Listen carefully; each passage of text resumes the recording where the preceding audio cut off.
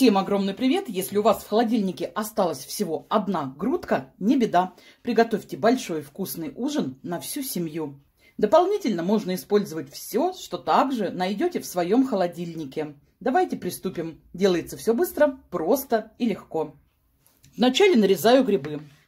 Вместо грибов также можно использовать еще морковь, можно использовать цветную капусту или такие овощи, которые найдете в своем холодильнике. Можно даже замороженные, тоже будет вкусно, уже проверено. Получается много.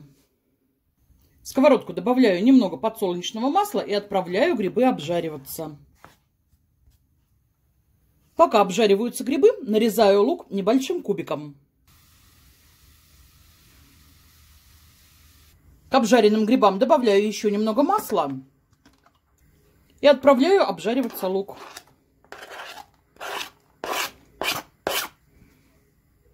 Куриную грудку нарезаю небольшим кубиком.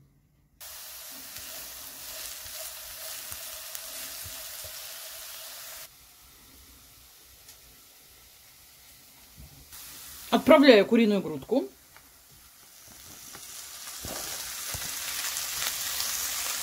Добавляю тертый чеснок.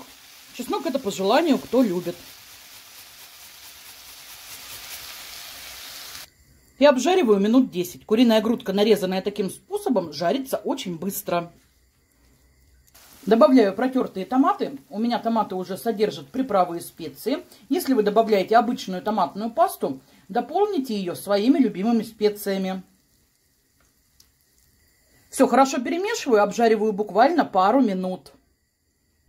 По вкусу подсаливаем.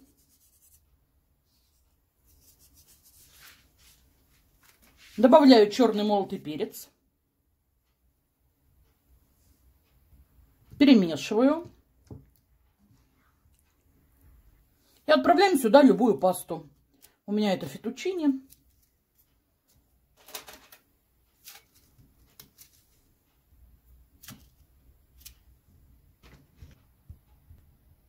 Добавляю сюда горячей воды, прям такой из чайника кипяточек.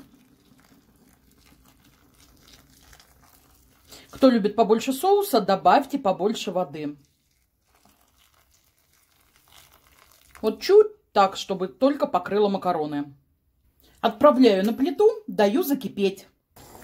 Подливка закипела, убавляю огонь, закрываю крышкой и варю чуть дольше, чем указано на упаковке с вашей пастой.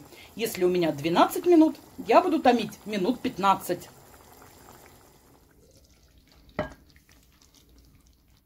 Ну и вот такая получилась паста в соусе. Она полностью приготовилась. Можно сверху посыпать еще вкусной зеленью.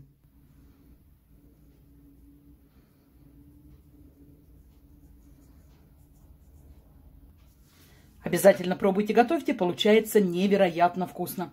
И с одной грудки можно приготовить целую сковородку или даже маленькую кастрюльку такого вкусного блюда на ужин и накормить даже большую семью. Кому понравился рецепт, подписывайтесь на канал, нажимайте на колокольчик, не пропускайте простые доступные рецепты вместе со мной. Готовьте вкусно и просто. Всем огромное спасибо, до свидания и пока.